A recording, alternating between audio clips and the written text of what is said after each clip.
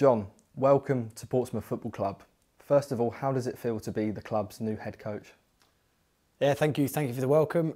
I mean, it feels incredible. It's it's an absolute privilege, I think, first and foremost, and it's just really exciting. Nerve wracking, definitely nerve wracking, but uh, exciting, and just I think there's so much opportunity and so much potential that you know it's impossible to not really feel incredibly excited about it. How did this opportunity arise, and how have the last few days been for you? Yeah, so I I know well I first met Rich in the summer, um, Rich Hughes in the summer, the, the sporting director, when he was on the pro license um, as as a sort of guest external speaker coming in and speaking to some of the the young aspiring coaches about you know some of the processes in place with sporting director, which is a fairly new role in this country, and and Rich and I got speaking and and you know ended up realising that pretty quickly over the course of the pro license we were we were aligned in terms of the way that we would we would go about um, go about our business with uh, with football playing style, the way we'd handle things off the pitch.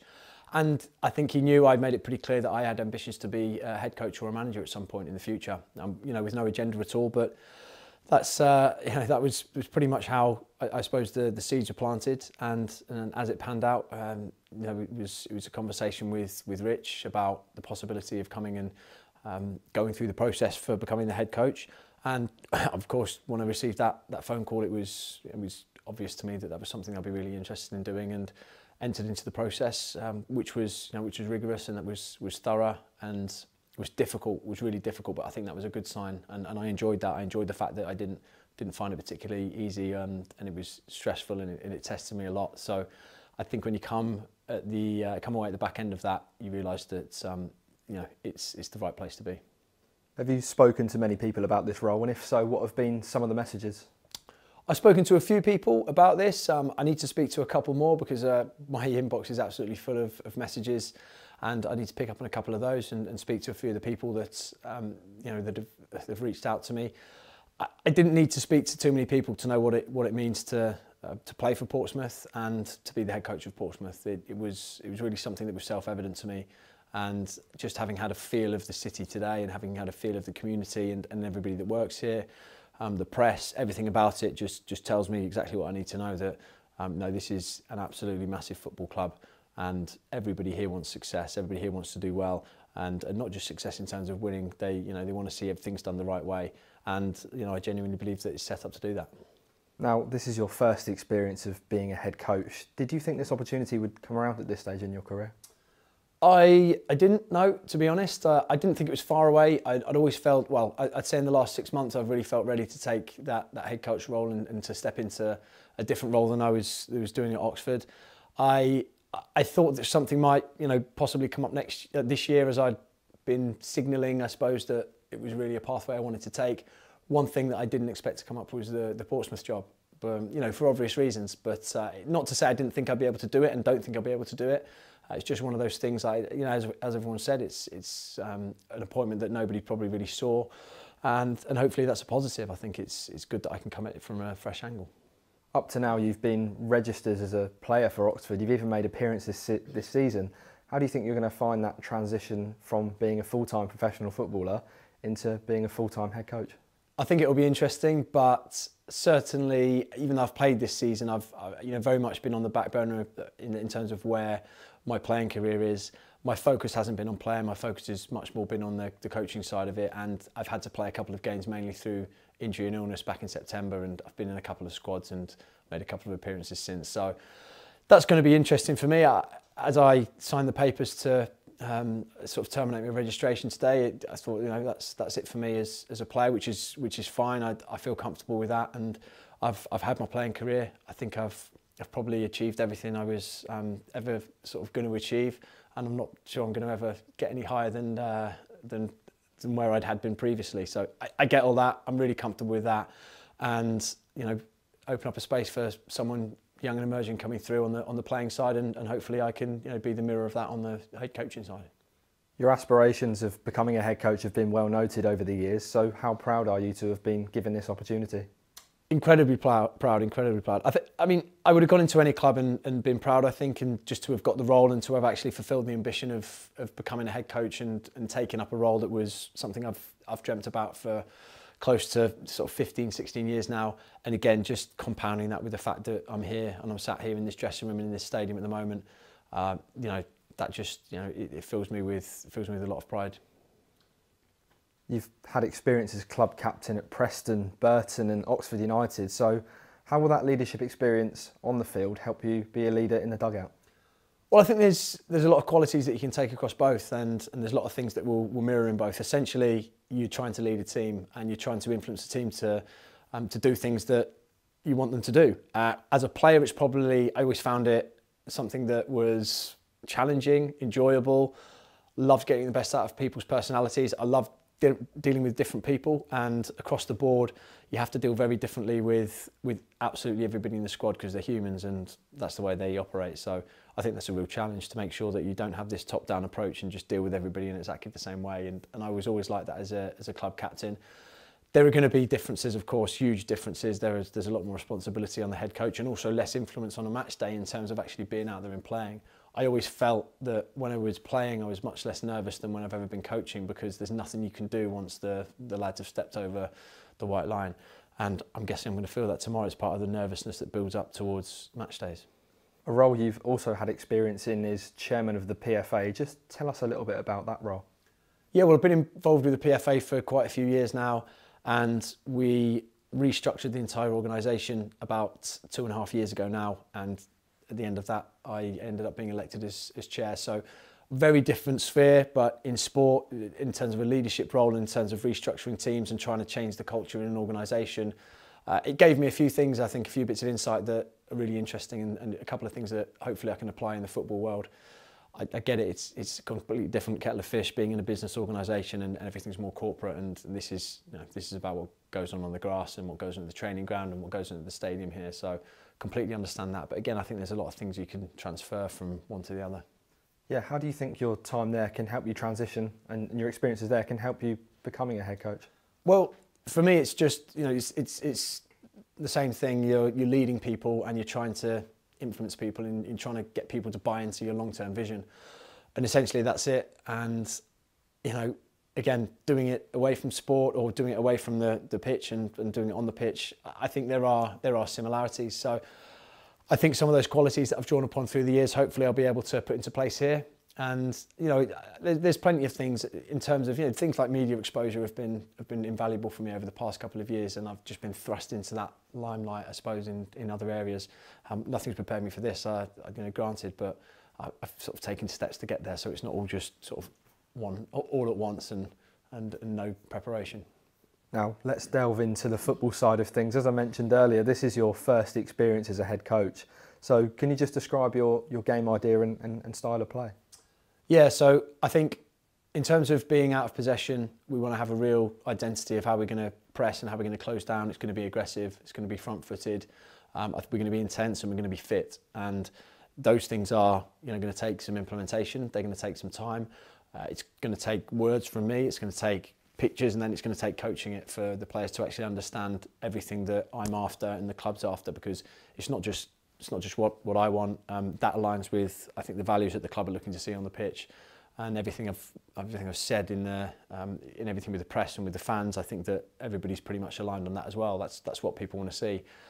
I think on the ball, it's a mixture between being pragmatic and also trying to dominate possession, switch the ball, make sure that we are very creative and essentially play attacking football. So attacking front-footed football again on, on that side of it and just creating some excitement, I think, some creating some excitement. And it's a difficult thing to do. That's probably what I've described there is, you know, the, um, the ideal of any sort of game idea or, or football model you want to have, but that's what we're going to strive to. That's definitely what we'll, we'll strive towards and we won't hit everything, but we'll hit a few of them and hopefully the more that we hit, the better. And, and that's really important because once we do all that, I think people can see the identity we're trying to create and also we're going to win games off the back of it. And ultimately, that's the most important thing. Now, if you can single a few out, what would you say are some of the key attributes of a John Mousinho team? I think we've got to be fit. We've definitely got to be fit. Fitness is, is absolutely huge. I haven't had a chance to come in and, and really um, you know, speak to the Sport and Exercise Science Department about that. Uh, it's an absolute prerequisite. Players probably handle the ball for 90 seconds to two minutes every game, and the rest of the time they are running. and they're running high distances at high speed and they're sprinting. So they've got to be able to do that and they've got to have robustness and, and stay injury free. Um, so you know, that, that's a characteristic. There's, there's, there's others that are, are harder to define. There's, there's passion that we want to see. And that's something the players are going to have to develop themselves. You know, they're going to have to be able to show that. It's got to be intrinsic. Motivation has got to come from them. Got to be motivated to wear the shirt. They've got to be motivated to play out there every Saturday and Tuesday and, and keep going from there. So I think those are a couple of the things just away from playing style that we'll really be looking for and, and we'll be really looking to sort of weave into the team's identity. How would you describe your leadership style? I think I'm going to be very relationship based and um, you know I've I've already had quite a few chats with uh, some of the players and, and ultimately, you know, treat them as what they are. They're, they're, they're humans and, and I value them and, and I want them to improve. And ultimately, for me, it's about how I can do that, how I can improve them, how I can take them from, from A to B, because if they're better players um, and if they develop, hopefully they'll do it with Portsmouth, uh, that will help the club, that will help the football club and everything's about the long-term interests of the football club for me um, so you know that's that's how I'll that's how I'll lead if I have to make decisions at, you know, every single day and, and I'll do that I won't be afraid to do that but certainly I think a bit more collaboration um, with the players a bit more collaboration between departments um, and I think everyone will be you know, nice and happy. Now, you've completed your first day at the training ground today with the players. What did the day involve and how did you find it? Yeah, obviously it was it was very fast paced and meeting everybody at sort of such short notice was uh, probably the best thing to, to do because I didn't really have time to do anything else. Managed to get down the training ground after a couple of press duties this morning and once I was at the training ground it was it was pretty quick. I spoke to the coaching team about what I expected for the day and what we were going to do then talked to the players. It was my introduction to the players, said a brief bit about myself and a couple of the expectations that I set out for everyone. And then we got out and trained. Uh, just a short, sharp training session the day before the game. Got a couple of principles in that we really want to instill with the players and got a couple of bits of shape in there. I didn't want to put a huge amount of, of burden on them and have a huge amount in terms of what they're thinking about. It's been a tough couple of weeks for them. They've they've gone from obviously having a manager or having a head coach to having an interim uh, not really knowing what's going on, everything speculation, speculation, speculation. And then finally, late last night, early this morning, they're hearing my name and I walk into the training ground and, um, you know, thankfully we got to speak to the players just before everything was announced. So the players were the first to know. It was, you know, it was, it was great. It was brilliant to be there. It was great to be out on the grass, um, coaching them. And I'm really looking forward to um, many more after Saturday. Yeah, you touched on it there. How much are you looking forward to working with the players as professionals and more importantly, as you say, getting to know them as individuals as well? Well, yeah, that's a real challenge for me is, is how I actually switch from that relationship that I had with them, um, not these players, but relationship I had with players previously, which is, you know, a leadership role, but I could be their friend, I could, I could be their mate and I could go out and have a drink with them. Um, and I didn't think it was any. It was great. That was, it was me. I was part of the squad, and that's that's got to change now. That's got to change. There's got to be a professional relationship. But I, I don't want it to be um, an us and them, and I don't want it to be, you know, this this blame culture between the two. We'll both take responsibility for for our own actions, and we'll we'll you know we'll collaborate, and ultimately I'll make the decision. But I do value their opinions. Um, I've got to build those relationships. I've I've got um, young players in there that, that want to play. I've got quite a few that all are competing for 11 shirts, and that's a tough thing in the first instance when a new head coach comes in and picks a team straight away, and you think, well, is he not valuing me? And that's just not the case. Value absolutely everyone here, and everyone, um, you know, really has got a part to play. How can you get the most out of this group of players? I think they're a, a really good group of players. I think we've got some really good talents in there. Uh, I think that they need a bit of energy, a bit of enthusiasm. I think they need a bit of guidance. Uh, I think there's some some work to be done, obviously on the pitch, but but also just to try and give them the freedom to play. Uh, from what I've seen recently, I know it's been difficult. They just seem to have lost that freedom, lost that ability to go out and, and express themselves. So that's what I want them to do. I want to see that uh, when we play Exeter, a bit of um, expression, a bit of freedom, just on and off the ball as well, and just you know let the shackles off and. Um, even in the first instance, before we get a chance to, to really dig down into, into what we're doing on the playing, playing side specifically, um, get back to enjoying their football. You joined just over halfway through the January transfer window, so what are the aims between now and the end of the month? Yeah, same aims as we had at the start of the month, so they won't change, and that's part of the beauty of the structure of the football club is that the recruitment process is, is run by Rich and the recruitment team, and obviously I've got input into that, and um, you know, Rich would, would never do this, but if the recruitment team and, and, and Rich, the sporting director, decided to give me a player that I'd never seen, it should be the sort of profile that will fit into that playing style and fit into the way that Portsmouth want to play. Of course, like I say, that will never happen, but we've got time. There's plenty of time. It's like any other transfer window. We'd be looking to strengthen. We'd be looking at where the areas of weakness are in the squad and, and going and try and find players that can help us out with um, getting to where we want to be. You mentioned his name there. How important is your relationship going to be with Richard Hughes? Yeah, for me, that's probably the most important relationship at the football club at the moment. Richard's got fantastic pedigree uh, of what he did with Forest Green and, and how they got promoted, and also appointing Rob Edwards there. And that for me was a, big attraction as well as, as as long as as, as well as Andy Cullen and um, and what he did with with Russell Martin at MK. So there's there's real sort of pedigree there, um, even at that level before we even think about what the owners have done in their previous businesses. So myself and Rich will work really closely. Um, we've been in each other's pocket already for, for the entire day, pushing each other, challenging each other. Um, that's my that's my ask of him that he always pushes me, challenges me, um, gives me the best tools to be able to go and win games of football, um, and that's it. And you know, I think we're very very aligned on that, and, and we know exactly how we want to work with each other. Now, to look forward, what's your overall goal as Pompey head coach, both in the short term and the long term? Short term is is just to you know get this get this place bouncing again and and to really you know turn Fratton Park into what it is, which is an incredibly tough place to play football if you're an opposition player and a brilliant place to play if you're at home. Um, doing that away from home as well, of course, is important because you know, we have fantastic away following and um, we've you know, got to get the away form right as well. But I think there's there's just a bit of a lift, a bit more energy in the short term. Uh, you know, long term, we what we want to do is is create an environment where uh, everything is geared towards success. That's the, the best way to put it. So without putting any targets on it in terms of promotion, in terms of getting to a particular league and finishing there, what we want to do is just make sure that everything we do is is with, you know, again, the interests of Portsmouth at, at heart and, uh, you know, every single decision is made to ensure the success of, of the football club, um, whether it's me here or whether it's whoever you know, succeeds me one day in the future. Now, you've arrived just one day before our game against Exeter, as you've mentioned previously. Is that ideally how you'd like it, getting straight, in, straight into the thick of it? No, ideally, I think as a coach, you'd like a, you like probably a pre-season, a six weeks build-up, um, and you can really start to, first of all, talk about you know things like fitness. You can get those fitness principles into the into the lads pretty early on, and then start talking about how you're going to play football. So, I think ideally you'd have that. You'd have a lot longer lead in.